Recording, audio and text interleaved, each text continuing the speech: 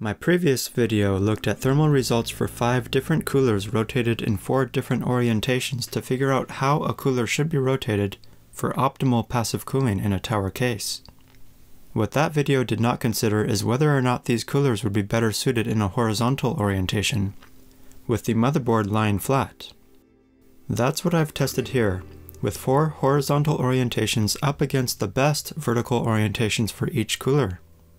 The four horizontal orientations include the case lying flat with the cooler facing upward, with and without the side panel installed, and the case lying flat with the motherboard on the roof and the cooler facing downward, with and without the side panel. For the downward facing orientations, the case was held on the edges of two boxes to encourage passive airflow upward toward the coolers.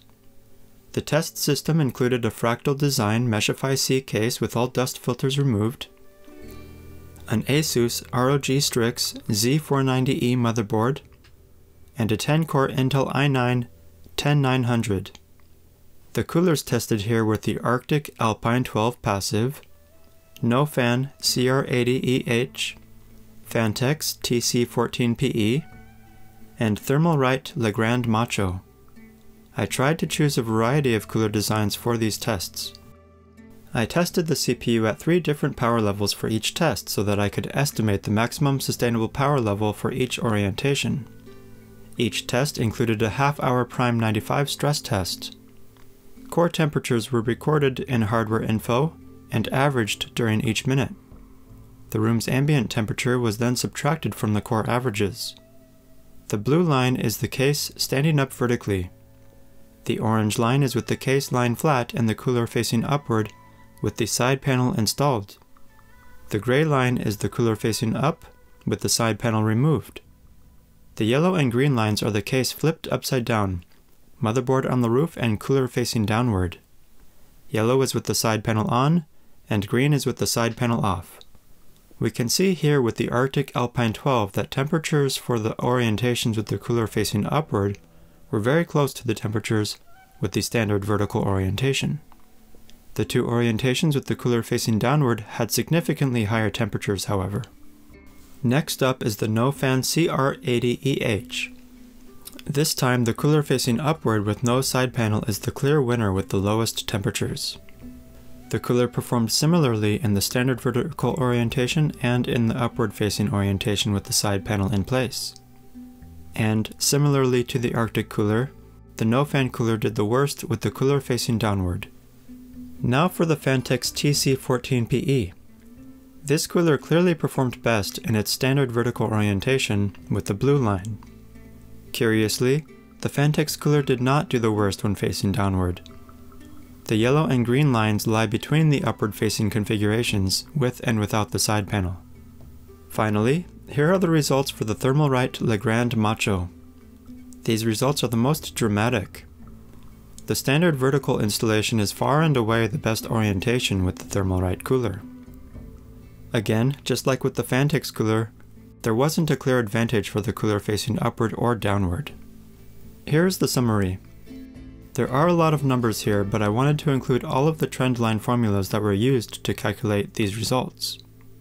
These figures are for the estimated power limit at which I calculate each configuration to hit the CPU throttling point of 100 degrees when fully stressed, assuming an ambient temperature of 25 degrees Celsius. If you study this chart, you will see that the results are very different for each cooler, so I don't think I can make a blanket statement about vertical versus horizontal configurations. The only blanket conclusion that I can draw here is that all of the coolers performed worse when facing downward. This is a good thing considering that there aren't any cases that I've ever seen with the motherboard installed to the roof of the case. The Arctic cooler could handle about 48 watts in the vertical orientation.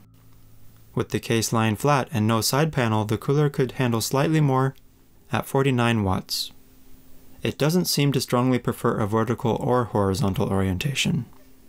The NoFan cooler clearly performed better when facing upward though. It could handle about 69 watts in the vertical case configuration or between 72 and 79 watts in the horizontal orientation. It seems that this is the only cooler that strongly prefers the motherboard lying flat. Both the Phanteks and Thermalright coolers performed significantly better in the standard vertical case configuration, especially the Thermalright cooler. I am sure that this is because the cooling fins on these two coolers are parallel with the motherboard when installed. So the fins are only vertical when the motherboard is vertical. The conclusion here is that the best passive cooler for a particular system really will depend on the case's orientation. For most cases, the larger and more expensive Phanteks and Thermalright coolers are the clear winners. But that completely changes when installed horizontally with the motherboard lying flat. The smaller and much lighter NoFan CR80EH is the clear winner for horizontal cases. Luckily, for the budget-friendly Arctic Alpine 12 Passive, it performed similarly vertically or horizontally.